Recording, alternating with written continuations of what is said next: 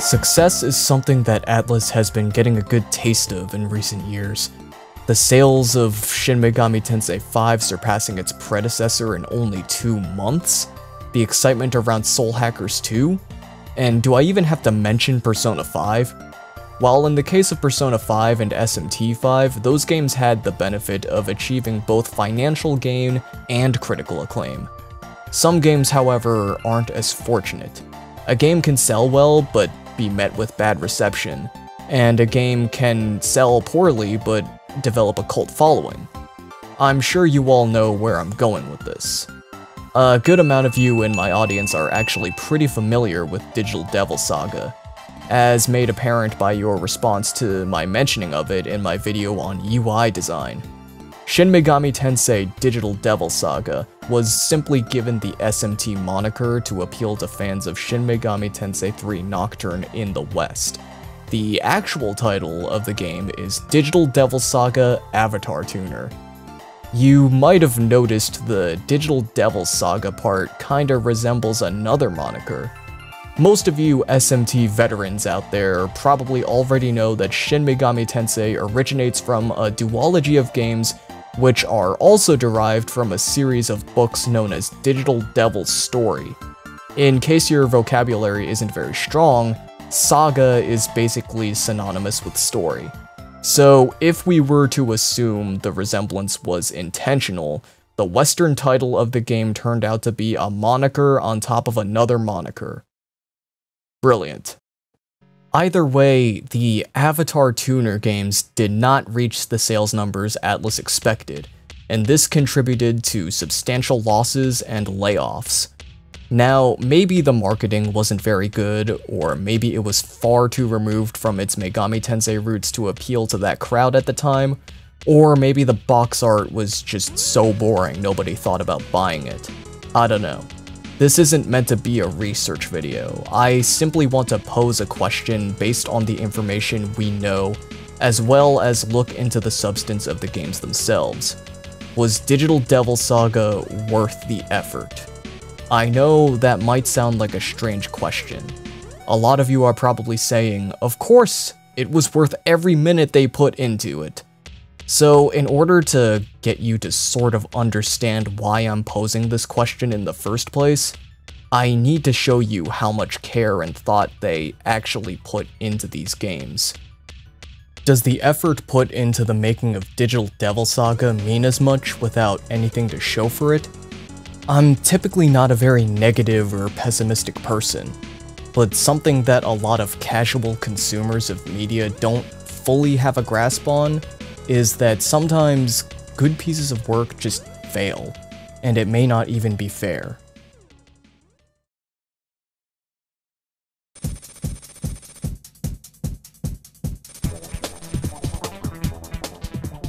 The game takes place in a desolate world known as the Junkyard. An ensuing battle is taking place between two of the many existing tribes in this world. The two we are introduced to here are the Embryon and the Vanguards. In the middle of the conflict, a giant egg appears in the middle of the field. So naturally, the first thing the two fighting tribes agree to do first is shoot it. Uh, that doesn't go too well, and everyone, and I don't just mean everyone in the battle, I mean everyone in the junkyard, gets infected with the Atma virus, giving everyone demonic powers. And by that I mean you eat people, after eating all those people, you regain consciousness and discover a mysterious girl named Sera, who is able to calm your insatiable hunger and stop your tribe from eating each other. Handy. Then a meeting is held by all the tribe leaders at the Karma Tower, which oversees the ongoing war, where a being known as Angel declares that all the tribes must fight over the mysterious girl in question. Only one tribe can come out on top, when that time comes, they can return with the girl to reach Nirvana. Sounds like a much better time than staying in this wasteland, so everyone's down for it. That about sums up the premise of the story. If what I've summarized didn't make the point clear already, the prominent theme of this game is survival of the fittest. I'm hoping everyone watching this is not for killing and war, but what is one supposed to do when left with no other option? The drawback of everyone's demon powers being that they must devour each other is probably the best way they could have driven the point across. Because it is truly a dog-eat-dog -dog world out there at times, especially in the junkyard where everyone must literally eat each other to survive. There are times where we really don't want to act selfishly or feel bad for putting ourselves before others, but that's just a natural part of life sometimes. Sometimes what's best for you will be at the expense of someone else. By no means am I advocating for selfishness, and neither is the game. In fact, throughout the game, you'll be given choices whether you can either do the obviously smart thing to do in this type of world, and this type of situation, or you can do the nice thing. On the surface, these choices don't really seem to affect anything, so we'll put those aside for now. What really pushes the story forward is the characters. Most of the first Digital Devil Saga game is dedicated to setting up future plot points and establishing our main cast, so I believe it would be wise of me to relay that info before we talk any further about the grand narrative. This will also make talking about certain character moments in the second game much easier, the denizens of the junkyard are split into six tribes, the Embryon, the Vanguard, the Maribel, the Solids, the Wolves, and the Brutes. Our main cast consists of the Embryon, five of them in particular. Serph is your silent protagonist of the game and is the leader of the Embryon. This is the reason why you get several choices throughout the game to either be the nice guy or go with the flow of the survival of the fittest mindset.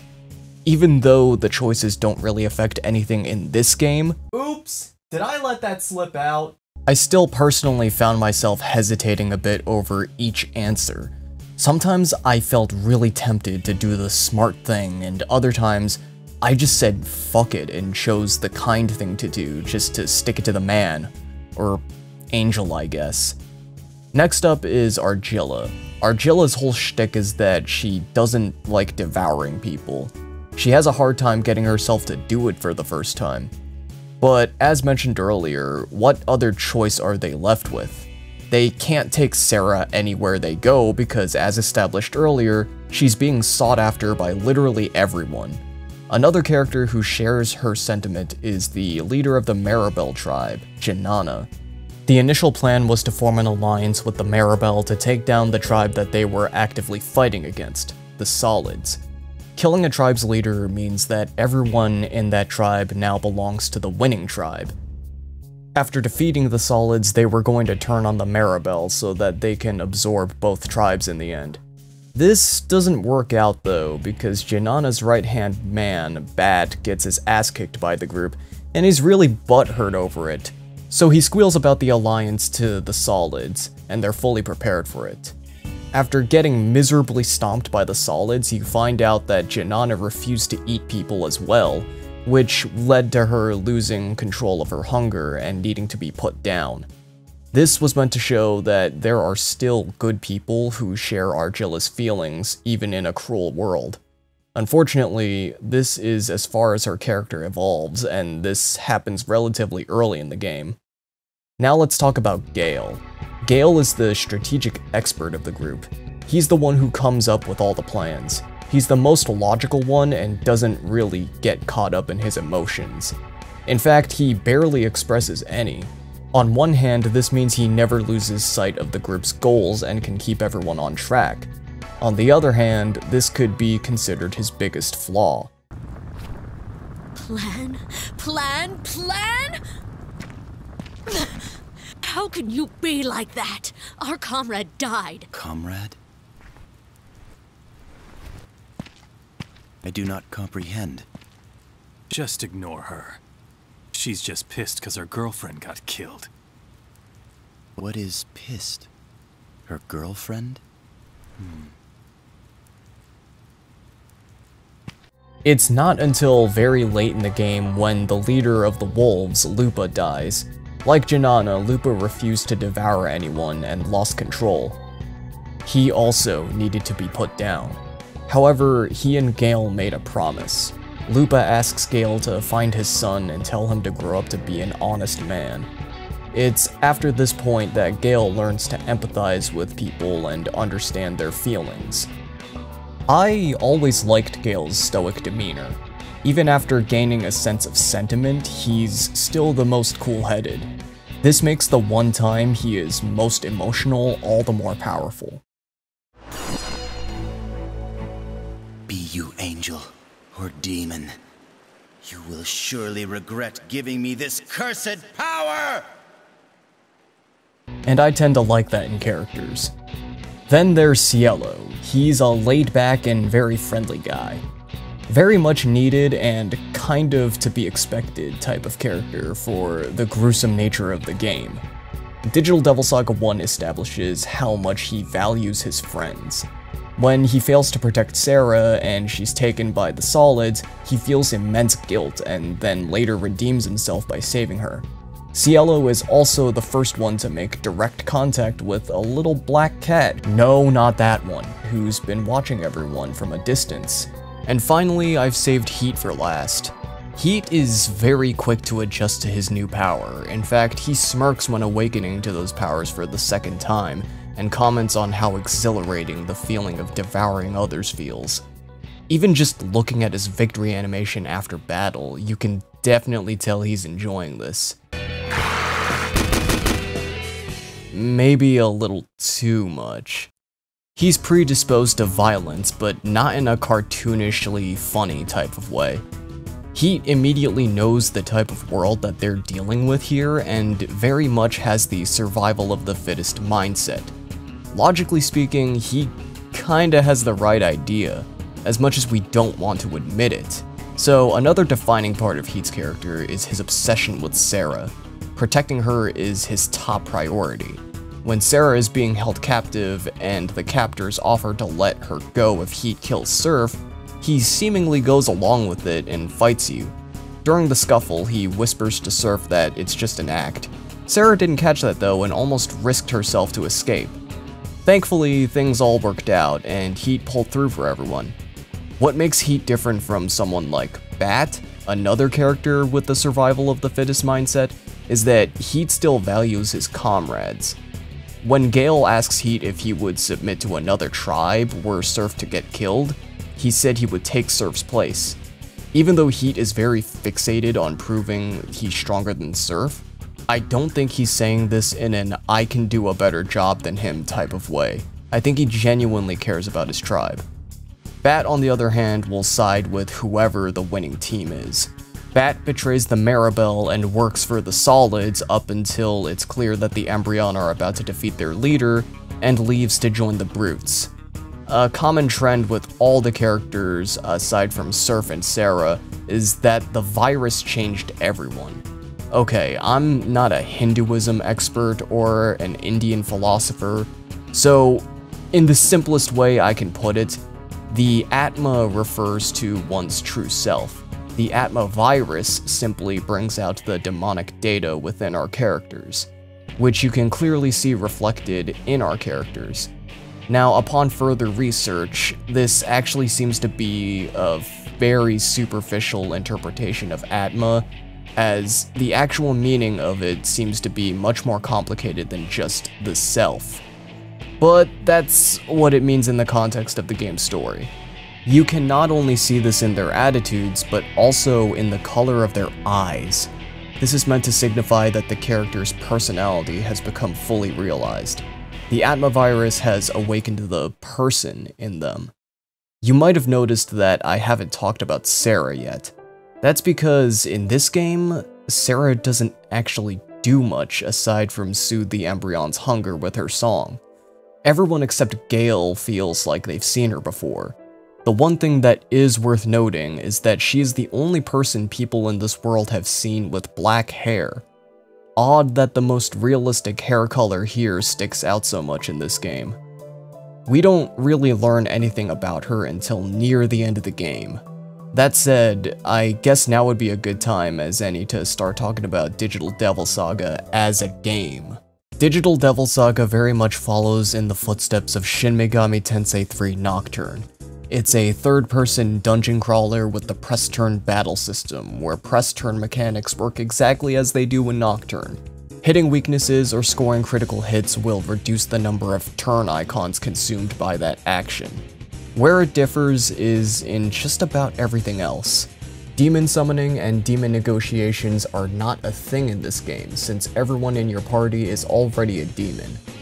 Okay, I know I gave Persona 2 shit for not having fusion, but just hear me out on this. Instead, you revamp your party through the use of the mantra system. Mantras are provided by the Karma Tower and will cost you money, and earning enough Atma points will give that character all the skills that mantra has to offer. Atma points are essentially just a separate experience value from your main XP, Karma.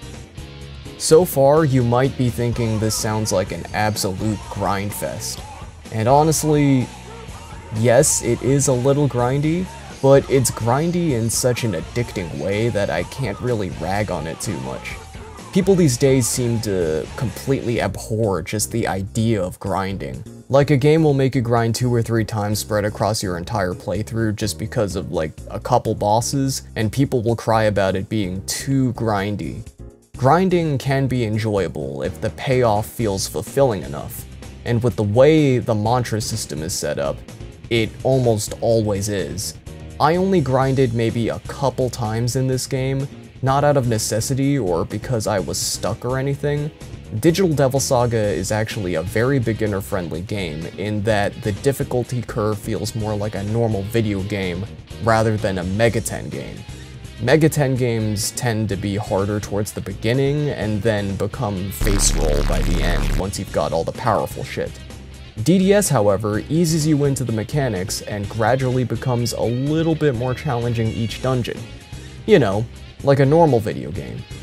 Tangent aside, part of what makes the grind somewhat addicting is acquiring the new skills and putting them to use immediately, thus spicing up things upon every acquisition and keeping the grind from getting too repetitive.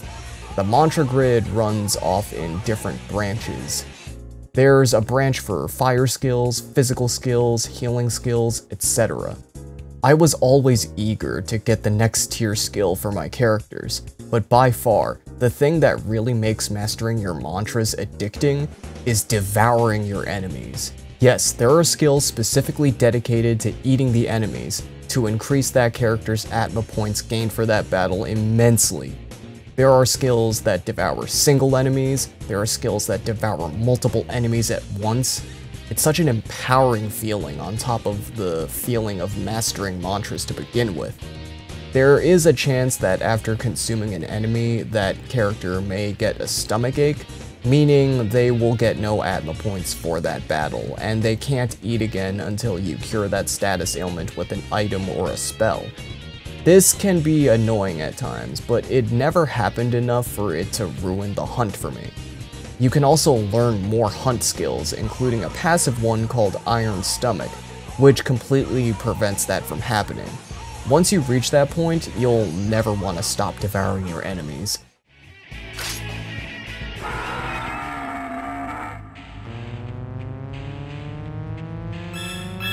You eat, you master a mantra, and right as you think you've grinded enough, you think, hmm, but wouldn't it be cool to have those skills too? Oh, that skill too. Oh, that one looks so good. Skills not only have their conventional uses, but having certain skills on certain characters can enable some combo skills. They're like fusion spells from Persona 2, but way better. A large number of them are very high tier skills that you'll eventually be able to learn through late game mantras.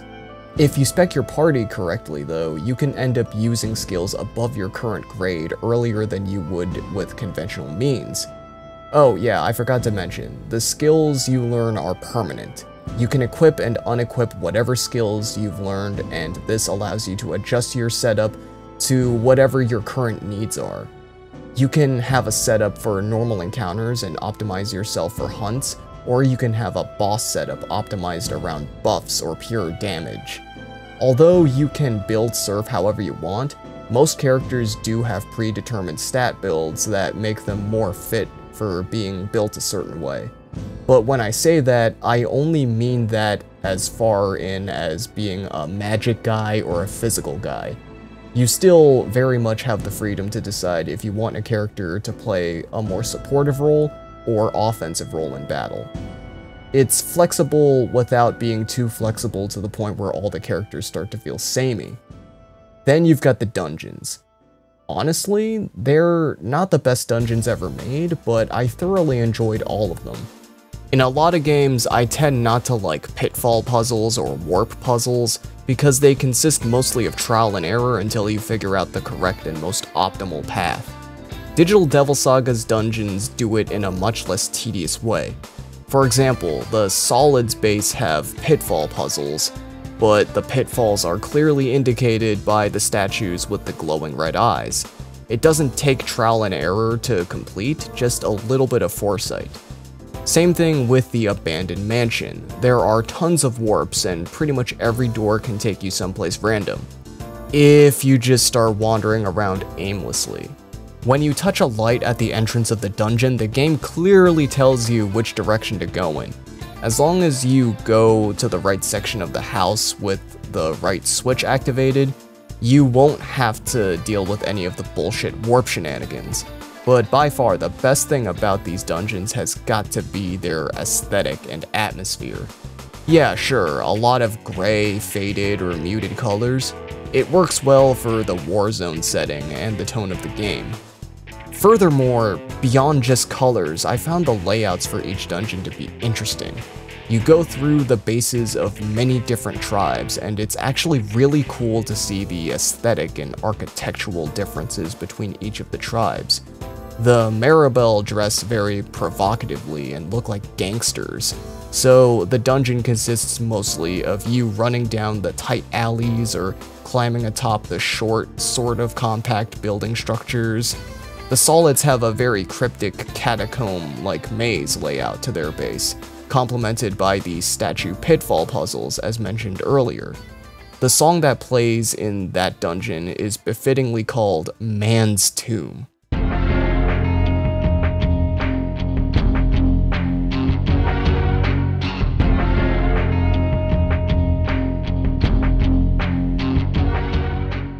Hell, even Muladhara, the Embryon's first base, has an interesting structure to it. The city is built in layers, with these mechanical steampunk-looking elevators taking you between them. And who could forget Karma Tower?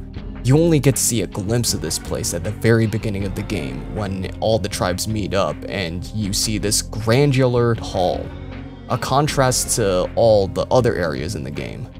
I know having a huge tower dungeon was a trend in other Megaten games at the time, hell, even in a lot of other RPGs. I need you to hear me out though, it's actually good. Save points are very generously spread throughout this entire dungeon, and it's a long one. Never at any point did I feel like leaving to restock and selling items made me lose too much progress traversing the dungeon. And again, warp puzzles. Normally really annoying, but you're given a lot more foresight. Instead of whisking you off to a place you have no idea where it is, it's usually just to a close by adjacent area. Looking around at the walls and the layout of the room makes it pretty easy to predict which warp tiles to step on and which ones are gonna take you nowhere. Of course, these are just a few examples, and that's not even everything about the gameplay, those are just the things that I enjoyed the most about it. I haven't even gotten into field hunts, uh, those are a thing, I guess, or all the optional bosses this game has to offer. I only did the mandatory fights in my playthrough, bringing my final playtime to around 23-ish hours. But hey, there's my replay value. I can easily see myself doing a New Game Plus run, and the only other game I've done a complete New Game Plus run of is Persona 3 FES. That's saying a lot. You know what else speaks a lot? The music. The game's soundtrack perfectly conveys the mood and atmosphere of the junkyard, a somber, doing our best and getting by mood.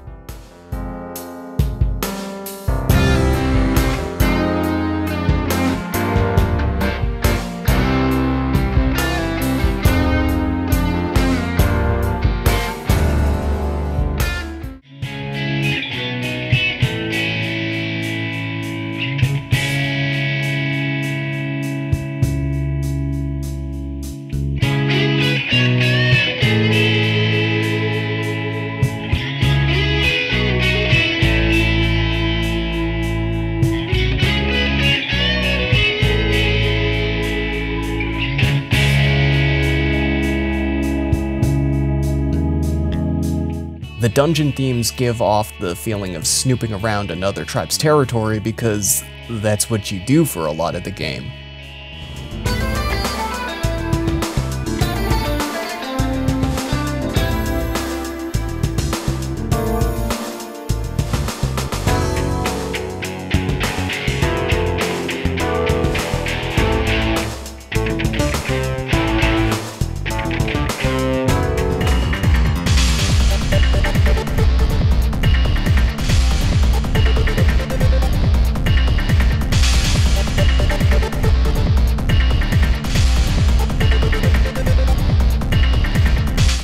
The battle themes are absolute peak.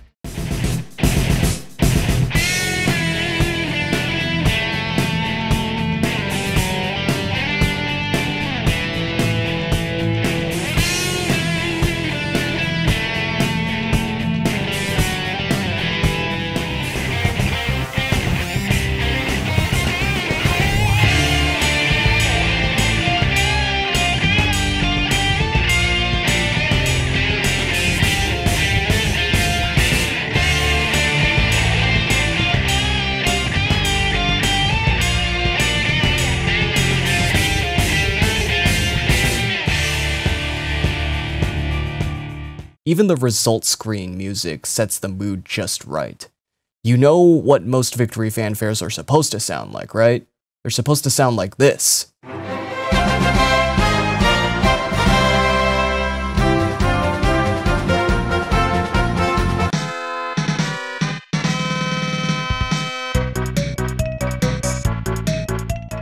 DDS, however, sets an entirely different mood.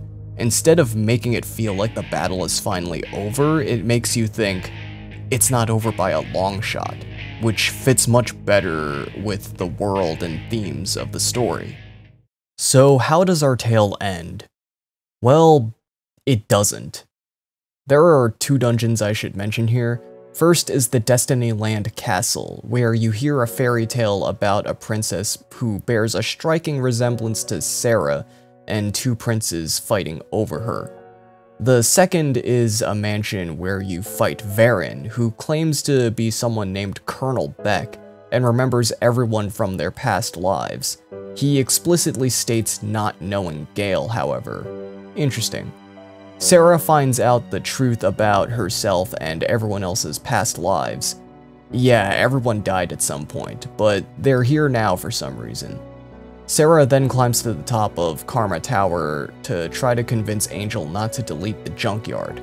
After the final fight, which is laughably easy for a final boss, Serph accidentally breaks the device Angel was using to control the simulation they're in, and everything goes haywire. Everyone ends up getting warped off to parts unknown. The game teases you by having Serph almost reach Sera's hand, but he just can't grab it. Come on, then in old Kingdom Hearts fashion, they promise to find each other, and they're driven away from each other. And after the credits, a cloaked figure walks through an empty city and the camera pans up to the big entity in the sky. Apparently the team felt they wouldn't be able to fit the entire saga onto a single disc. This might sound kind of ridiculous when that wasn't a problem when it came to making the 100 hour long behemoths that are Persona 3 and Persona 4, but when you think about it, the assets, maps, and level designs in Persona 4 aren't nearly as large in scale. Furthermore, you spend a lot of Persona 3 and 4 running around the same places in your town.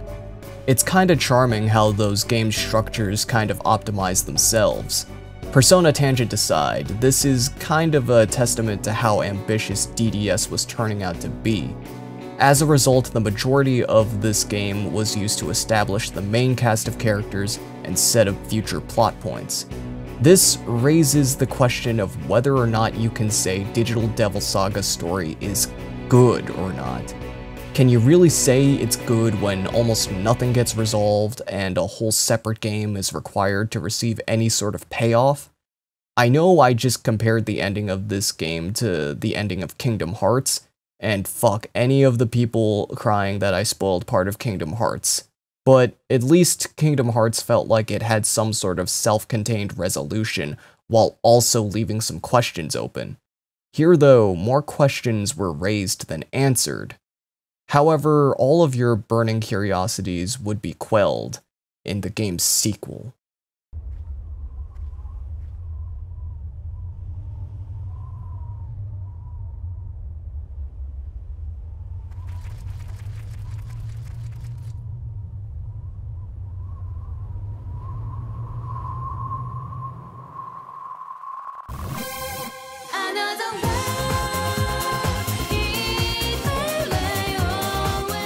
Thank you for coming this far into the video. I want to take a brief moment and thank my channel supporters.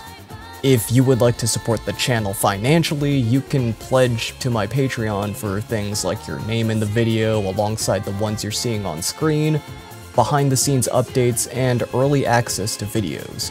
If you like these longer videos, this will make these bigger projects more worthwhile to pursue, meaning you could see more of these in the future.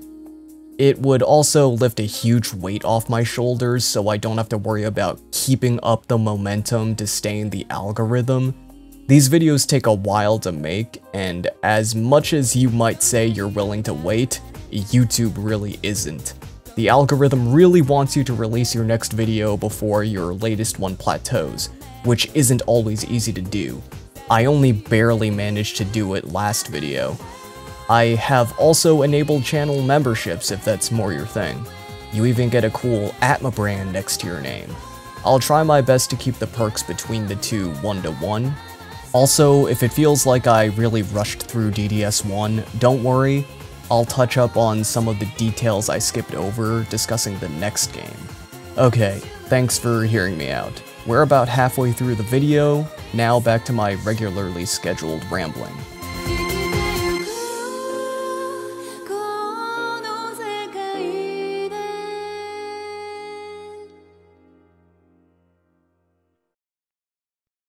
So as a sequel, what does Digital Devil Saga 2 add or fix from the original? Only a few things, but those few things actually make a big impact. In Digital Devil Saga 1, if you wanted to learn skills of a certain type, you were required to start all the way from the beginning of where that branch starts, and going down certain branches far enough would lead into other branches. Going back and retroactively learning skills of a certain type isn't that hard considering how fast low tier mantra can be mastered, when you're late into the game that is. But still, it could be pretty annoying with some of the higher difficulty mantra. In Digital Devil Saga 2, the mantra grid is in the form of a hexagon grid instead. Mastering a mantra now unlocks all the mantras adjacent to it, instead of just taking you down a specific path. You also have special mantras that unlock when all the surrounding mantras are mastered. This is spread across all characters, by the way. If one character masters the mantras on one side, while another masters the mantras on another side, the special mantra will still unlock. And it unlocks for everyone. This is cool because now this means you're much less railroaded into a certain path when building your characters.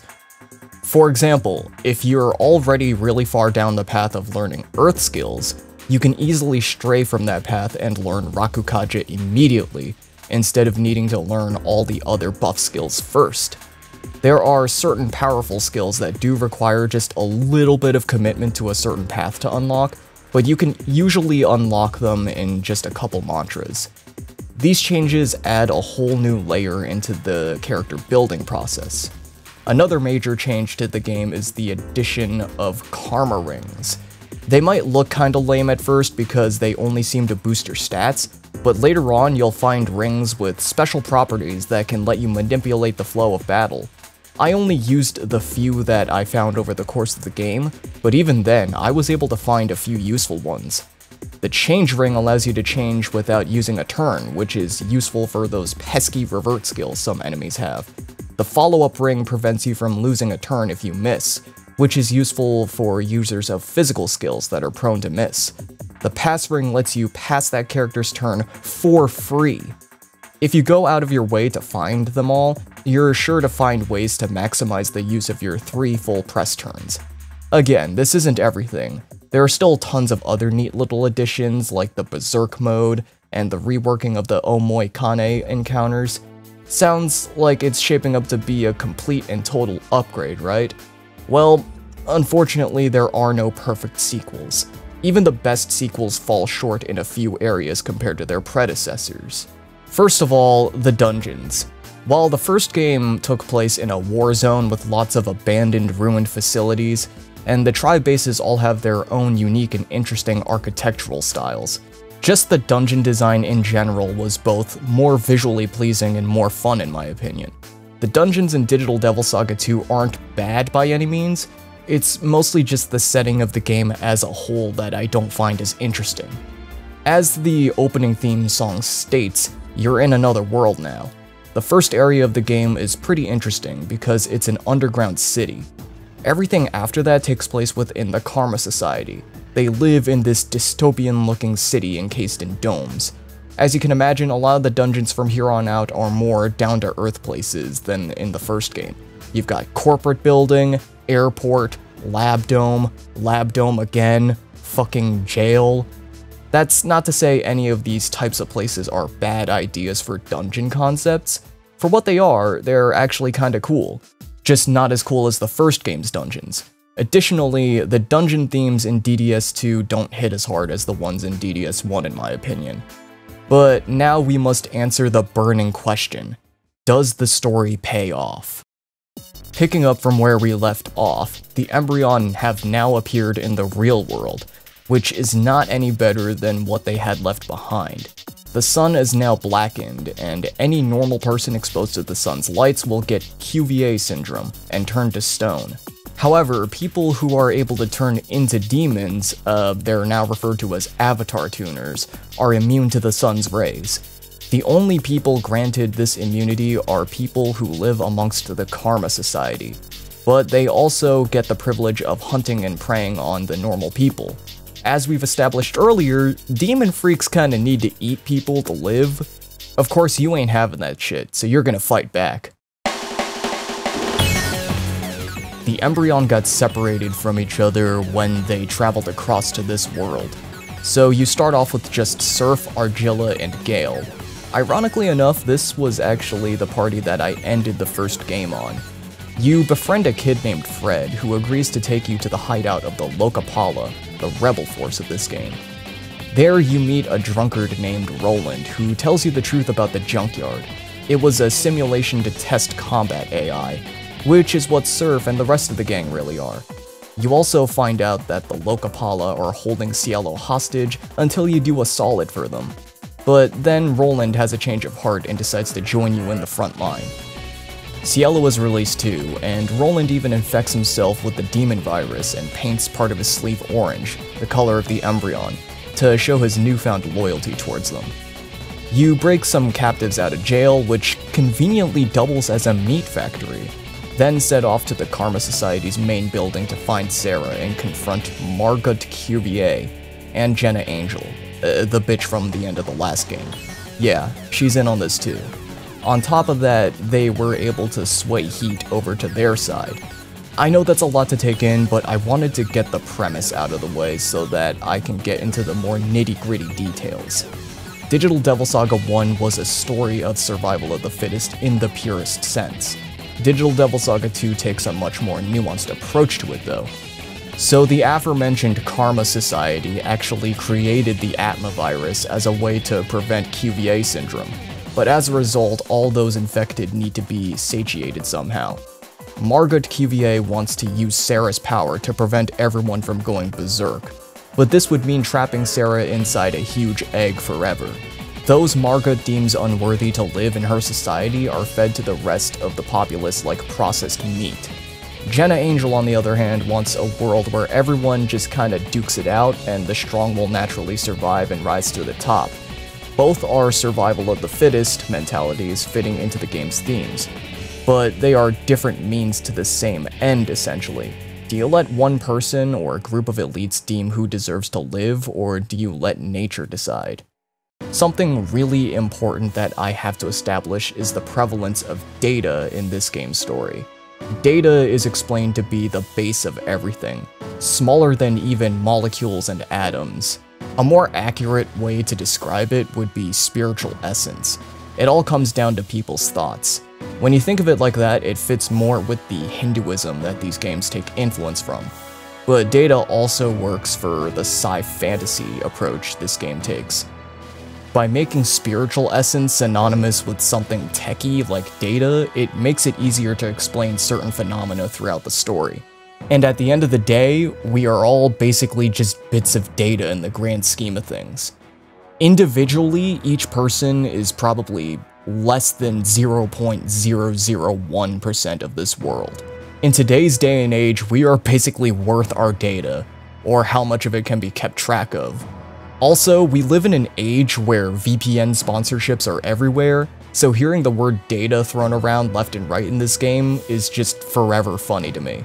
Another thing worth noting is that this game is an emotional roller coaster. Every part of the plot left me eager to see what was next, and each time something happened, it had me feeling something. From as early as the beginning of the game, being immediately hunted while running down the streets to the wholesome moment where Roland and Fred arrive with their orange streaks in their clothes to match with the Embryon, to the much darker, more gruesome parts of the story. The game starts off pretty hopeful with the Lokapala rising up and freeing people from imprisonment, but it gets progressively more grim as you go on, you find out Heat has turned on you, which seems kind of ridiculous at first given how he proved his loyalty in the last game. Roland, however, can sense that Heat is saddened by something and must have been told something crucial.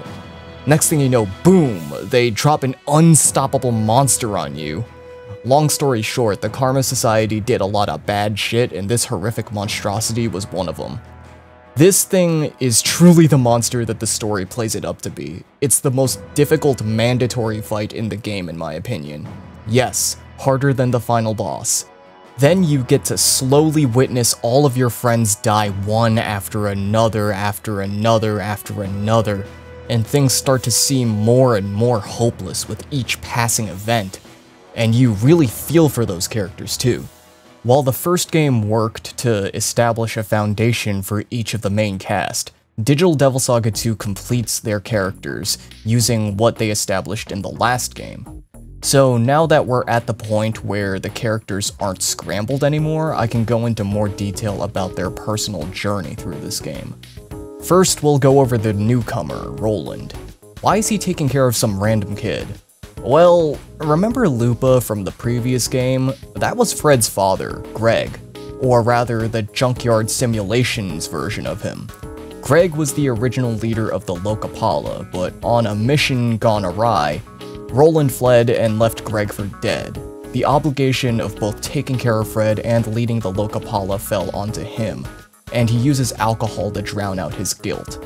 Sobering up was just the first step in his redemption arc, the second step was acting as a diversion against Meghanada. The fact that Roland held off for as long as he did was impressive. In his final moments, he confesses to Fred what happened to his father, and almost fails to destroy the power plant along with himself and Meghanada. With a little help from Argilla though, he manages to do the deed, and they're both able to die with eased minds. According to lore, Meghanada is also known as Indrajit, which is the name he receives after defeating Indra. Nice illusion there. I feel like Roland definitely could have been explored more as a character, maybe show the player what Roland's relationship to Greg was. I'm not a story writer though, so that's kind of the best I got. The only thing I can say about Roland is that he's an honorable man, or at least he grew into one, and not much else. Speaking of Argilla, we'll get to her next. I'll be honest, she ended up being the most underwhelming character in the end. She's at first built up to be the most human of the characters in this game, but that kinda goes out the window because everyone has kinda ended up becoming more human in the literal sense. Though, one thing I did notice immediately at the beginning of the game is that Argilla no longer seems to feel too bad about devouring to survive. She even goes on record saying, what else are we supposed to do? A lot of people like to focus on her initial distaste towards Roland up until the point she came to his aid against Indrajit. After watching my footage though, you could also easily say Gale hated Roland at first too. They all gained respect for Roland in the end. The most interesting thing we learn about Argilla is only shown to us after her death. But hey, maybe I'm just not paying enough attention. Now let's talk about the man himself, Cielo. Cielo's wholesome nature really shines in this game. So I neglected to mention this earlier, but you actually have a Team Rocket equivalent in this game. You only fight them three times in the span of one dungeon, the third time, the big guy eats the other two and gains power, and Cielo does not take kindly to people who don't value their comrades. Seeing him cry when someone else dies, that shit hurts, bro. He even has the saddest death scene, by far. Jeez, leave us alone. Hey, bro!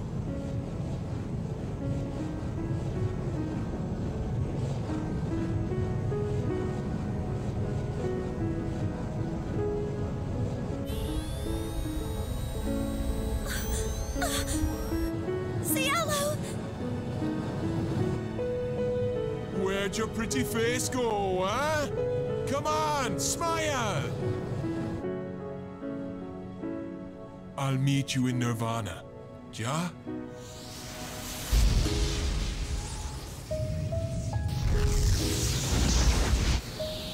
You asked for it! Here I come!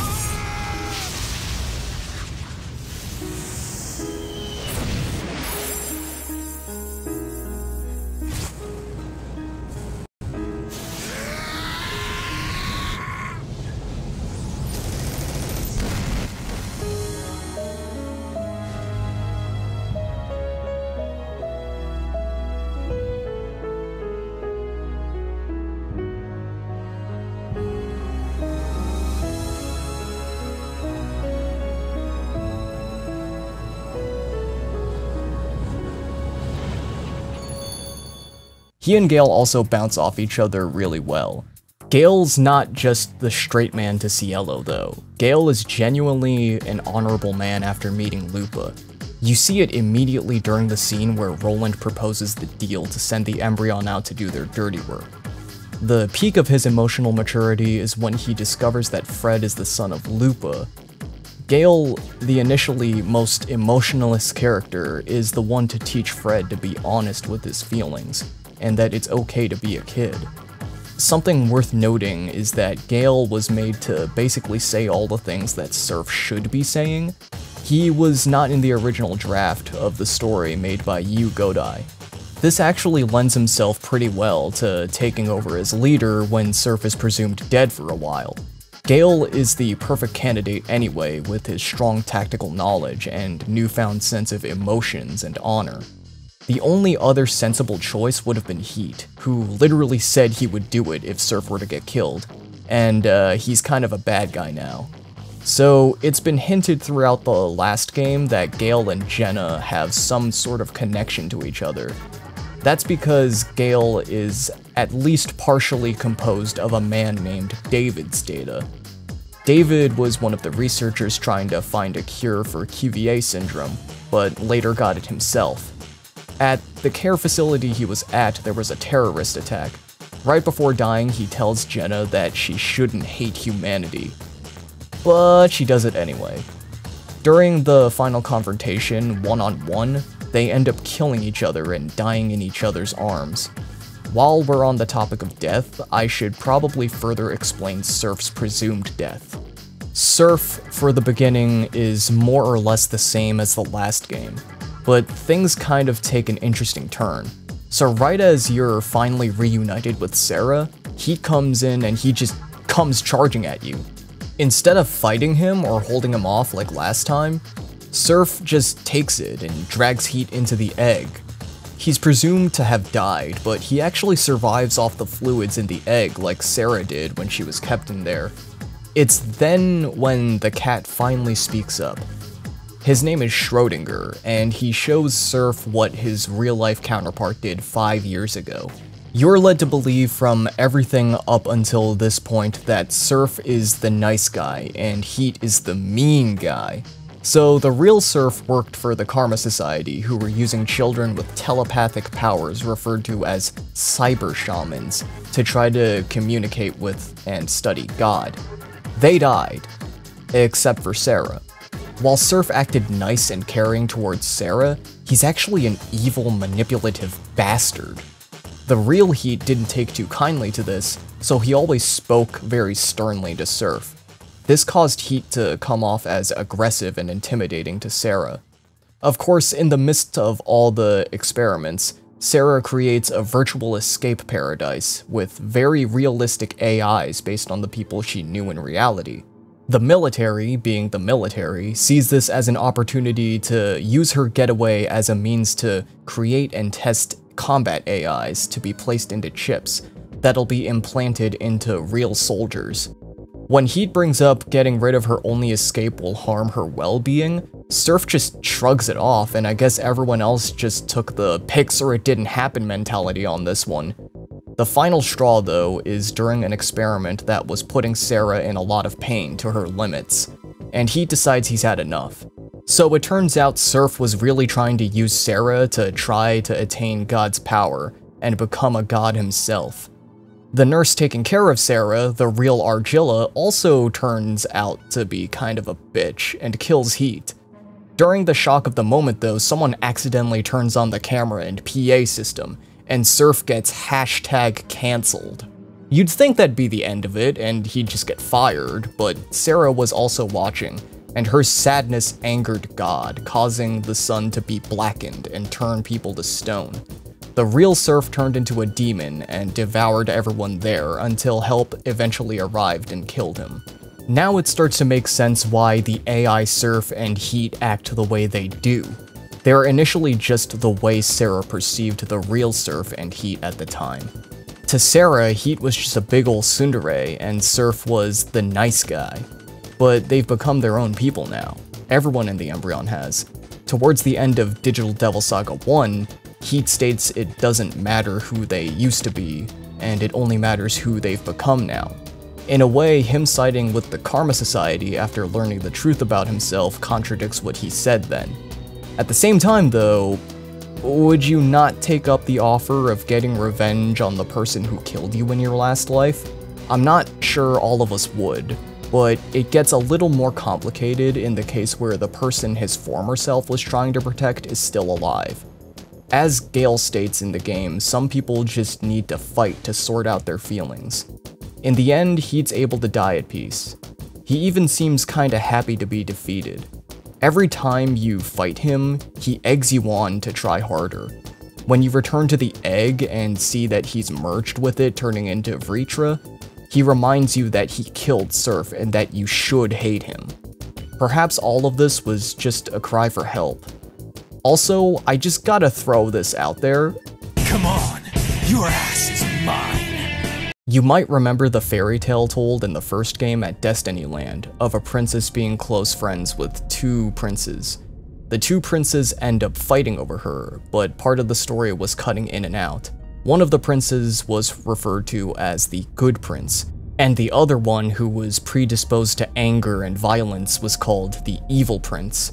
Given the striking resemblance to the princess in the paintings and Sera, we're very easily led to believe that Serph is meant to be the good prince and Heat is the evil prince. The game even fakes you out by having a fake fight with him at the end of that dungeon. Oh god, were they way off. The tale is a very direct allusion to what happened at the Karma Society, and what led to the downfall of Earth. Although the part that was cut out was never told to us, Looking back at the final broadcast in retrospect actually gives you a hint as to what happened, just by listening to the wording when the narrator calls the dying prince the truly good prince. Another thing worth noting is that the final stained glass mural, the prince is wearing black, which is the color of the evil prince statues you see throughout that dungeon. The truth was hidden from us in plain sight in a pretty clever way. Also, let's be real here, it's not weird or hard to believe that this girl fantasized about the only two guys in her life fighting over her. In fact, now I can finally talk about Sera as a character proper, After seeing Serph and Heat presumably die again, this makes God even more mad and the sun begins absorbing the Earth's data. It's not until the end of the power plant where Sera regains the motivation to try to do something about it. She inherits all of Serph's mantras, and all of his stats are added to her own. Gale also lets Sera take lead of the remaining members of the Embryon now. This honestly felt like a good passing of the torch moment. Serph's not there to be her prince anymore, and she is literally the only one who can convince God to stop destroying the world. At least, that's what we're led to believe at the time. Once you notice that you can't choose the allocation of her stat points, it kind of becomes obvious what happens next. You go one dungeon with Sera leading the group, and then after fighting Vritra, Serph is back, just like that. It's not as bad as it could have been though. When the egg was destroyed, Sera remembered another facility where she could possibly reach God, and has the resolve to go alone, knowing that this likely means she won't be coming back. But of course, we're comrades, so the boys decide to see her through to the end, and even end up sacrificing themselves. Oh yeah, I wasn't sure where else to put this detail, so I'll just say it here.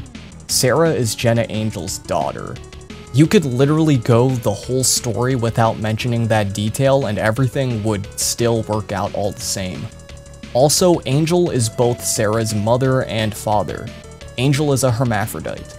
Another detail I wasn't sure where to put because, again, it doesn't really seem to matter in the grand scheme of things. I kind of wish Sera could have led the team for a bit longer, but the devs already had enough trouble fitting this game into one disc. They probably weren't looking to push the limits of the second disc. But now we have both a hero and a heroine character, just like the old traditional Megami Tensei games, Unfortunately, you essentially have two of the same character build now. The smart thing to do is to start building Sera towards different skills than Serph as soon as she joins your party. And thus, we've reached the final stretch of the game. So I want you to take a guess what happens after you watch all of your friends die and make your final desperate attempt to reach God. Serph and Sera die too, but as we've established before, data is part of the natural cycle of life, and when one dies, their data returns to whence it came.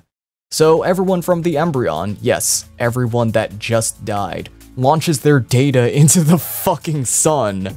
But it doesn't just stop there, no. Serph and Sera's data merge and they become Seraph.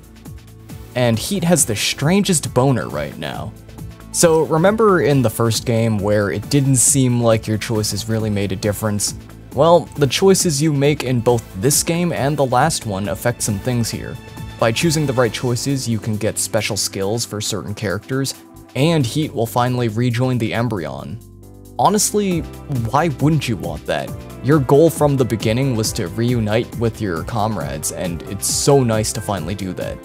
Heat inherits all of Roland's mantras, because I had all my buffs on Roland, Heat ended up being my Dekunda and Debilitate user in combination to being a physical God Slayer. But wait, I'm just under 16 hours. I'm already at the end of the game? Yes and no. Your final challenge, ignoring the optional content that is, is to reach God in the depths of the sun. This dungeon takes up like a third of the game, the first game's final dungeon was long, but definitely not this long. Warp puzzles, damage floors, and annoying gimmicks like disabling your demon form or taking away a press turn. This is also where the remaining optional fights are if you did all the ones on Earth before leaving. Thankfully, the restriction gimmicks don't last too long, and they honestly aren't too brutal. Damage floors are a non-issue since there are items you can buy to nullify floor damage. The only persisting issue is the trial and error warp stuff. I would not blame anyone for following a guide for this. I didn't, and I know for a fact that I definitely haven't explored the dungeon in its entirety. Maybe on a second playthrough, but not right now. While traversing the layers of the sun, you'll encounter the data of many of the foes you'll fight in the first game. I like how for all of these fights, they use a remix of the same boss theme used in DDS1.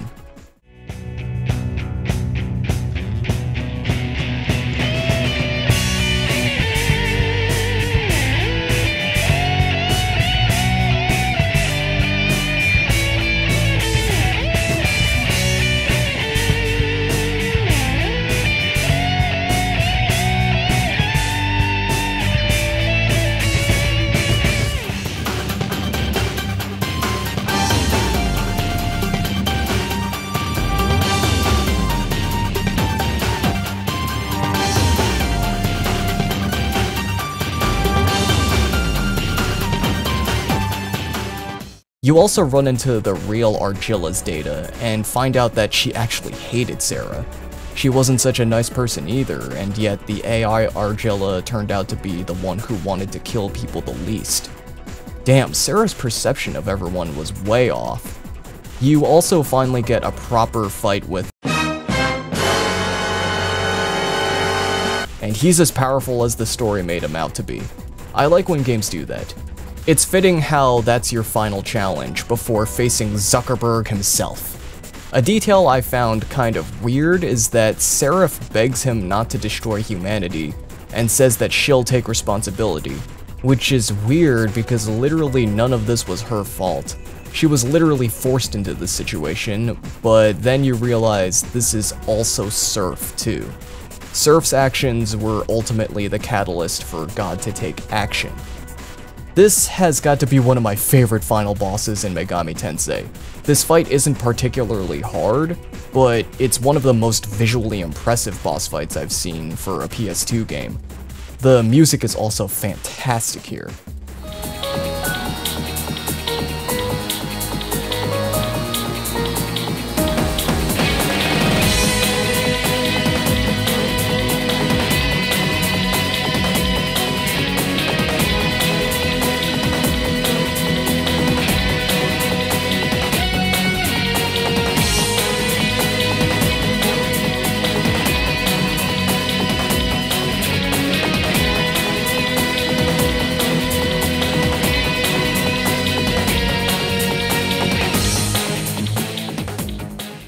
I'm also noticing yet another pattern. First the big towers, and now final bosses with multiple phases using every element. Also, I said Heat was a Godslayer. I meant that very literally. I gave him the skill Godslayer and he deals insane damage. And appropriately, he ended up slaying the god. After defeating him, all of your friends are sent back into the reincarnation cycle, while Seraph reaches peak enlightenment, allowing them to ascend to a higher plane of existence. Images of war and destruction run across Seraph's mind. It is here that Seraph learns the reason and meaning for existence. One word. The cat turns out to be Seraph from an alternate universe, and they unite to go witness the other alternate realities. We flash forward to an adult Fred watching over the reincarnated Embryon members. It should be worth noting that Seraph was the one to reach enlightenment, not Serph or Sera, so they ended up reincarnating with everyone else. So, you want to know the one word? Are you dying to know? The game actually shows it to you right after the credits. Shanti Shanti. Wait, that's two words. God damn it. One thing that I noticed about both games is that they revolve around the idea of reaching a higher plane of existence. In the first game, your goal was to ascend above the junkyard and reach Nirvana.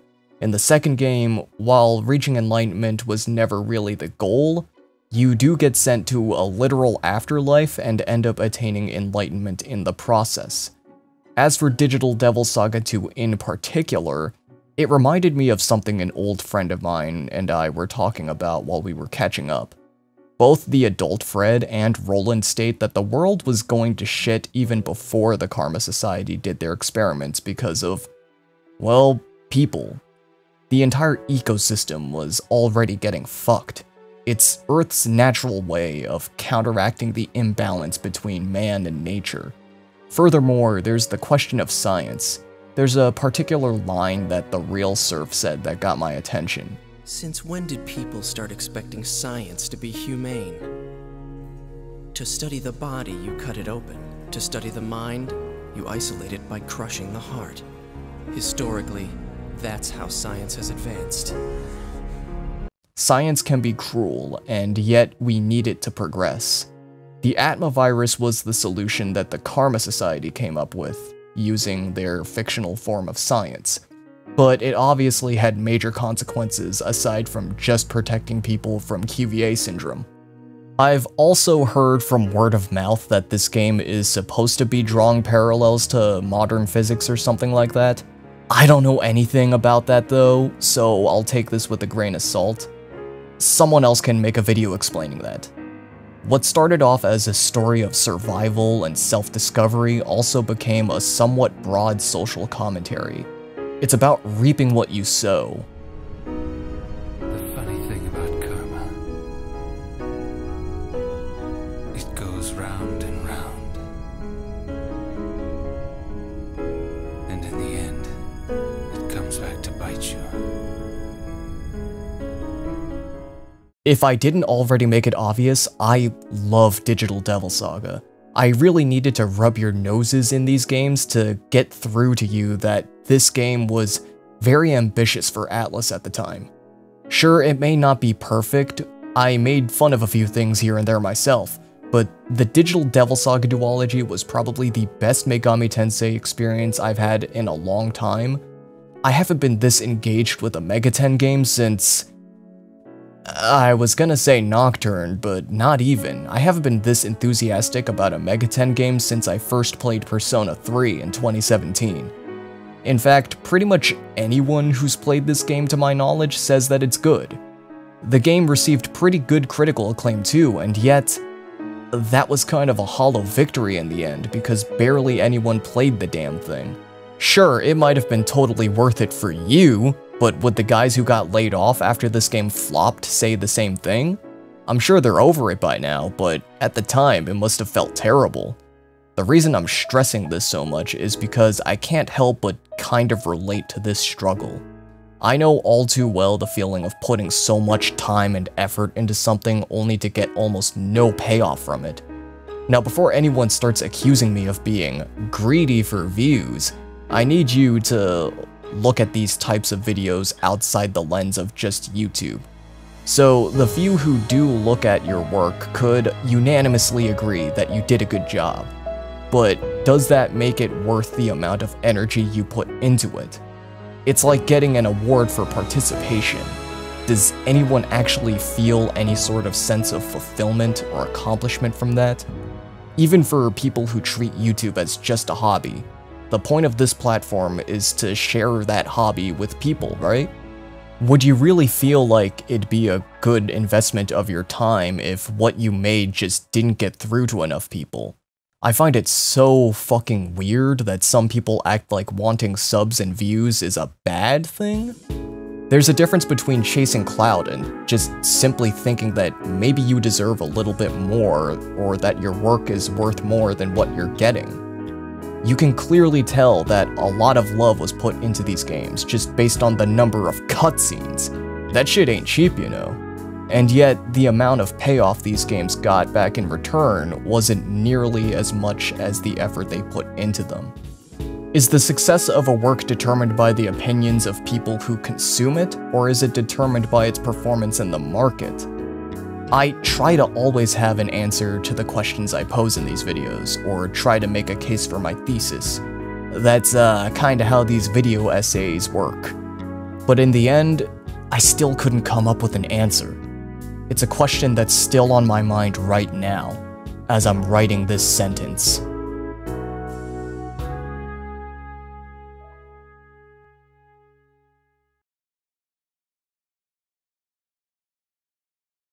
But the damage is done. All we can do now is look towards a brighter future, and look back at all the fond memories.